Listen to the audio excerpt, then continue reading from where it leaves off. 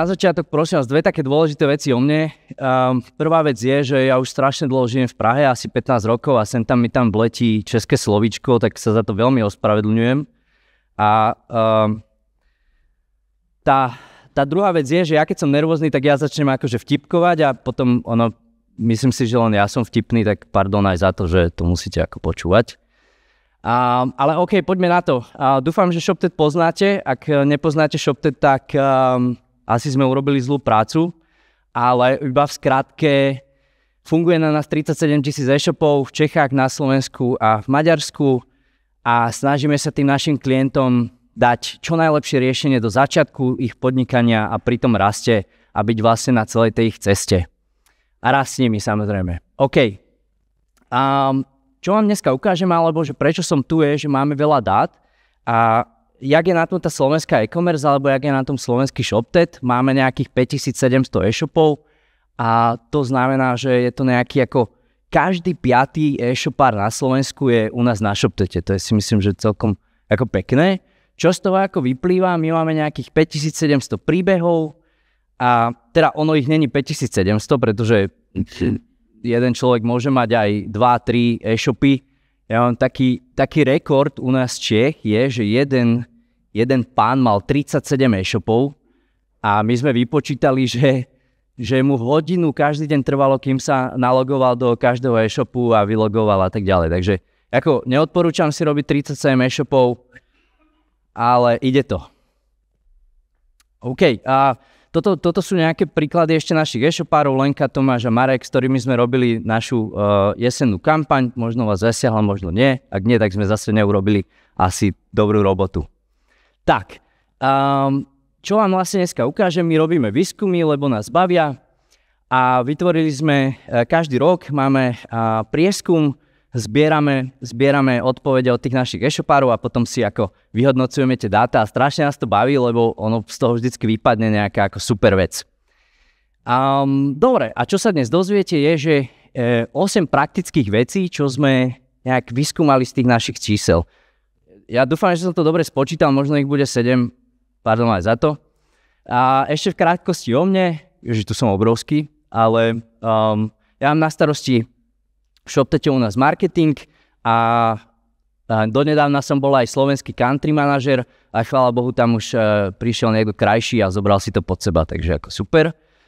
Menej práce. Čo o mne veľa ľudí nevie a čo je vlastne celkom zaujímavé je, že ja som si založil e-shop s najlepším kamarátom, to bol super nápad, splnili sme si taký detský sen, čo už nebol dobrý nápad, bola kamenná predajňa, to ako, to vám môžem porozprávať potom pri pive, e, finančne nám to nevychádzalo. Založili sme si aj vlastnú značku a, a zabalil som asi 3000 objednávok a do, doteraz ma boli z toho chrbát. Je to proste ako, jo, to je vidno na tej spodnej fotke. Tak, ale e, prečo to hovorím je to, že moja prvá rada alebo prvá praktická vec toho celého je, že e, pri tom e-shopovaní je strašne dôležité, aby ste si nechali poradiť. Každý máme nejakých super kolegov, každý máme nejakú rodinu, kamošov, ktorí vám vedia skvele poradiť. Ja som často chodil za mojím švagrom, radili sme sa o tých financiách, bohužiaľ to nedopadlo, ale tak, taký je život. Ale prečo je to strašne dôležité, aby ste si nechali pri tom e-shopovaní poradiť? A nefungujú mi gify, nevadí, však to poznáte. Um, 39, 39% z našich e-shopárov nám povedalo, že oni sú na to vlastne úplne sami. Jo?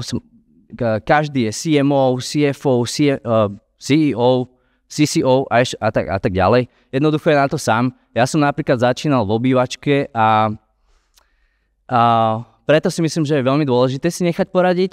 A, čo sme zistili ďalej je, že 49% pre tých našich klientov je to prvá skúsenosť s podnikaním. Ja to prirovnávam k takému ako labyrintu. Na začiatku proste je toho strašne moc, neviete kam máte skočiť, neviete, ak sa z toho máte vymotať a jednoducho a je to fakt ťažké. Ale ten druhý, tretí e-shop už je úplne v pohode, takže by som ne, nezúfal. A čo sme ďalej ako zistili je, že 36 našich, 36% našich e-shopárov uh, hovorí, že marketing je pre nich úplne tá najhoršia ako vec, ktorú pri tom e-shopovaní um, najväčšia výzva, alebo respektíve úplne tá najväčšia, uh, najväčšia bolesť pri tom e-shopovaní. A to je celkom vysoké číslo len na také veci, ako je, ako je marketing. Keď sme sa pýtali ďalej, pretože mňa zaujíma marketing a mňa zaujíma aj brand, a, tak um, pýtali sme sa, že či naši e-shopári majú zadefinovaný brand. Ja, ja, ja to tak ako skúsim, že, že uh, ak máte nejaký biznis alebo nejaké podnikanie, že pravdepodobne máte zadefinovaný brand. Čak, ak vás môžem poprosiť, zdvihnete ruku, že koľko z vás má zadefinovaný brand? Jo, veľa. No, jasné. OK, takže áno, máme. Máme zadefinovaný brand. Zistili sme, že 78% má, má v podstate uh, značku zadefinovanú, čo je celkom super správa. Ale keď sa na to pozrieme bližšie, mne to prestalo vychádzať. Ja som, uh, ja som si hovoril, jo, super, to je, to je výborné číslo, 96% má logo a nejaký názov, ale vlastne keď idete ďalej a hľadáte nejaké hodnoty alebo nejaké symboly alebo nejaký archetyp alebo a, čo ma zarazilo je ten positioning, tak to už má bohužiaľ iba 14% a, našich zákazníkov nastavené a nejak s tým ako pracuje. Čo je celkom malé číslo. Myslím si, že o tomto určite by vám Michal vedel porozprávať viac, ale a, takto to je. My sa to snažíme samozrejme zlepšiť a edukovať tých našich klientov ako najviac vieme. A prečo je to dôležité, aby ste mali zadefinovaný ten brand je, že 94% z tých našich, z tých našich zákazníkov, my, myslím, že ich je ako 3,5 milióna ročne na tých našich shoptetoch, tak považuje dôveryhodnosť a pocit bezpečia za to úplne najdôležitejšie. Čož ako asi dáva význam. Ja tam nenakúpim, ak tam, ak tam jednoducho ten e-shop vyzerá veľmi zle a, a není pre mňa dôveryhodný. Tiež, tiež odídem. Um, OK, ďalej sme sa pýtali, že koľko e-shopov má nastavený marketing funnel. Ja, ja sa celkom na tom zabávam, lebo uh, poznajú to, niektorí to poznajú ako lievik, nepoznajú to ako funnel, jo, není sú všetci ako marketáci. Takže, takže 79% až tých našich klientov by chceli mať na, zadefinovaný nejaký ako funnel a vedieť počítať všetko v tom marketingu, ale bohužiaľ nemajú. Čo je celkom zarážajúce. A z tých 21% iba tretina uh, opačne, pardon, uh, tretina netuší, ako má rozložený budget brand versus performance. Ako, mm, myslím si, že určite nájdeme aj niekoho v publiku, že kto teraz rozmýšľa nad tým, že OK, aký mám pomer brand versus performance v tom marketingovom budžete, my ho máme zhruba tento rok asi 50 na 50. Sme sa snažili ako v ShopTete to mať celkom pekne rozložené. Ale čože uh, blbé je, že tí naši klienti uh, to častokrát nevedia, ale 54% na tom plánuje ako veľmi uh, tvrdo zapracovať, čož teda uh, dúfam, že sa podarí. Tak, uh, v, akom, v akom segmente je teraz boom? Ja, ja mám strašne rád uh, strašne rád uh, riešim s mojimi kamarátmi alebo aj s tými e-shopármi, že kde majú ako začať podnikať, možno nejaký ďalší e-shop alebo nejaký ďalší biznis a, a plus 112% sme zaznamenali ako v erotických pomôckach. Ja som tam naschvál nedal a nejaký, nejaký obrázok s, s nejakou erotickou pomôckou, ale dal som tam radšej tú dovolenku, tu má každý rád. A, takže 112% tento rok erotické pomôcky, je to v rámci celého Československa. E, najviac erotických pomôcok sa nakupuje v Brne. To je taká zaujímavosť. A, neviem prečo. A, potom je to gastro, gastronómia, cestovanie, mobily a kozmetika. No, to je celkom zaujímavé. Čo by som asi, kde by som si asi nezakladal momentálne e-shop a numizmatici asi budú mať trochu problém tento rok, alebo aj ten budúci si myslím, tak sú nejaké zberateľské predmety, o ten segment extrémne ako padá a, a vidíme to na tých našich číslach, že to nie je úplne good, ale čo my vieme, teda čo ja viem, možno, že budúci rok to bude oveľa lepšie. A čo mňa extrémne zaráža je, a, že my častokrát, marketiaci to poznáte, alebo aj e-shopári, my, my strašne ako častokrát si, si ako domýšľame a myslíme si, že ten náš zákazník je nejaký a snažíme sa zadefinovať e, cieľové skupiny, naše nejaké ako persóny a vymýšľame tam odkiaľ chodia a prečo.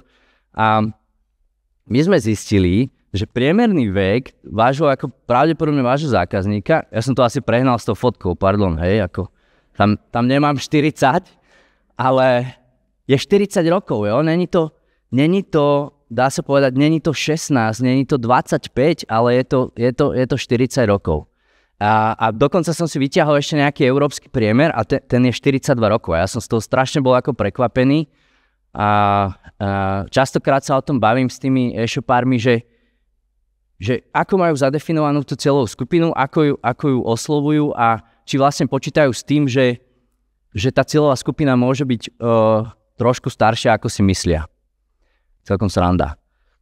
Uh, ďalšia, ďalšia super ako téma a o tej sa môžeme tiež baviť ako úplne do nekonečna je nejaká dobierka. Jo, a ja, ja už asi 3 roky, odkedy som v ShopTete, počúvam, že dobierka je dead a že vlastne bude dead. No ono to tak úplne není. Um, my sme zistili, že stále je to nejakých skoro 50% z, zo všetkých tých objednávok uh, na tom, na tom Česku, nie, na Slovensku, na Slovensku to je. Na Slovensku, takže teraz ak chcete, tak si to prepočítajte.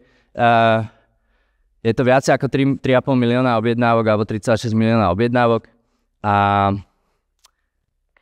50% skoro je cez dobierku, čiže úplný brutál. Jo? Ja, ja, vlastne ako, ja som si myslel kedysi, že tu uh, už budem v roku 2023 platiť len kartou, budú mi lietať objednávky s dronami a bude to proste fakt ako všetko ako hypertechnologické a v budúcnosti, ale bohužiaľ on to tak není. Stále vám to nosí ten kuriér a stále proste si to objednávate na dobierku a ešte to asi nejaký čas potrvá.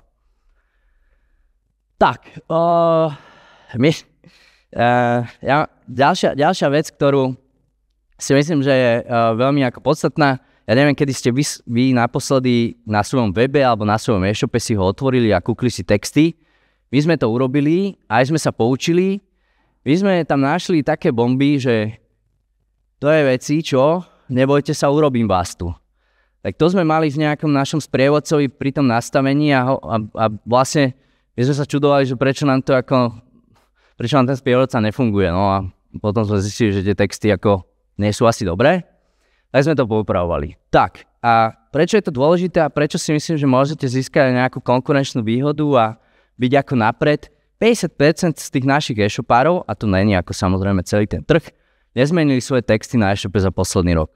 Úplný brutál, hej. Ja, ja vlastne nad tým rozmýšľam, že prečo, prečo sa to tak deje a uh, vedie to tak jednoduché, ale ja chápem, že keď to otvárate každý deň, tak je to pre vás veľmi nepríjemné a, a, a mňa to tiež štvalo vždycky to otvárať.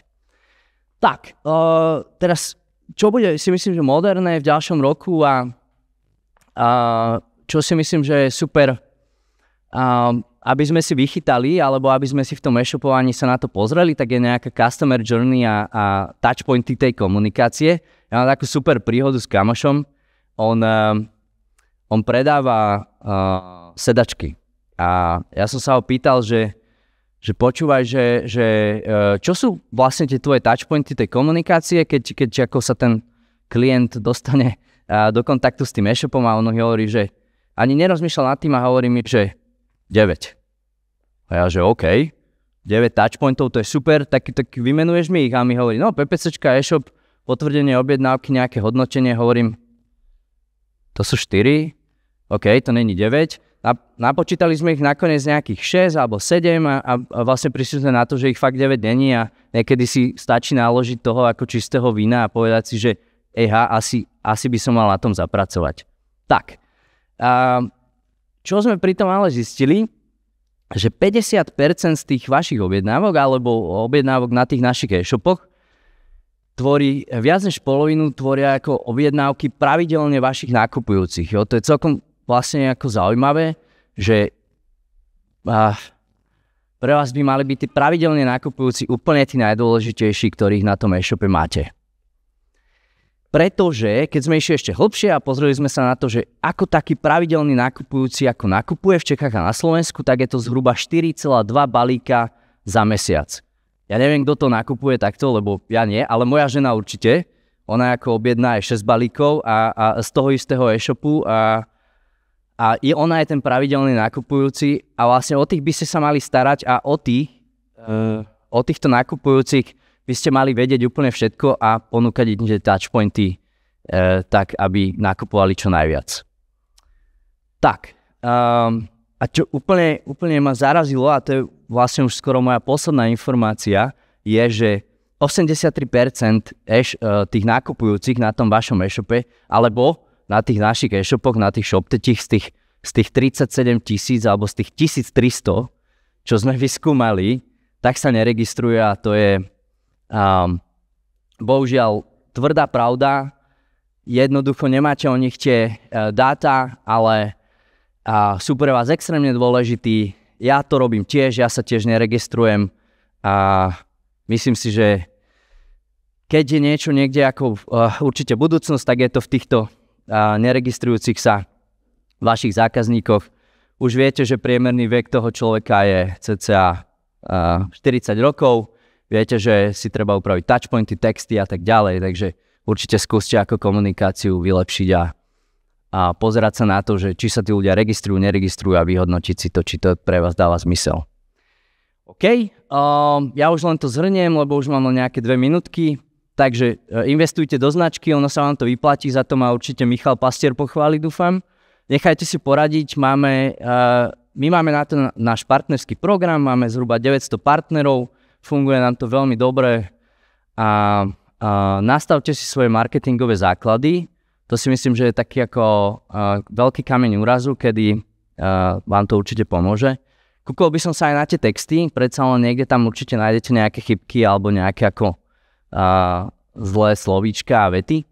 Váš zákazník nemá určite 16 rokov, videli sme tú fotku, má možno takých 40 a 2 a 2 nie je 9, takže by som na tom určite zapracoval. Tak, ďakujem veľmi pekne, dúfam, že nebudete vrácať z peniaze a to bolo asi všetko za mňa.